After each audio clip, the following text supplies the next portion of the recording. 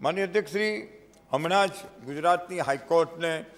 સાહીઠ વર્ષ પૂરા પૂર્ણ થયા અને સાહીઠ વર્ષ પૂર્ણ થયા એનો ઓનલાઈન કાર્યક્રમ યોજાયો આ ઓનલાઈન કાર્યક્રમમાં દેશના પ્રધાનમંત્રી આદરણીય નરેન્દ્રભાઈ મોદીએ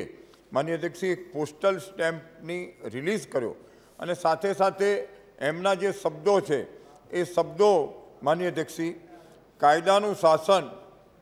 તે સુશાસન કે સુરાજ્યનો આધાર છે તેમજ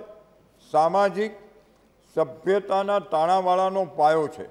જેમ કે કાયદાનું સુદૃઢ અને સુચારુ શાસન હશે તો દેશ વિશે વિદેશના ઉદ્યોગો આપણી ગુજરાતની ધરતી પર રોકાણ કરવા આકર્ષાશે રોકાણ વધશે રોજગાર વધશે તો પ્રજાની સુખાકારી વધશે માન્ય અધ્યક્ષજી એક ન્યાયનો વિષય એ રાજ્યની સમૃદ્ધિ સુધી જોડીને દેશના પ્રધાનમંત્રી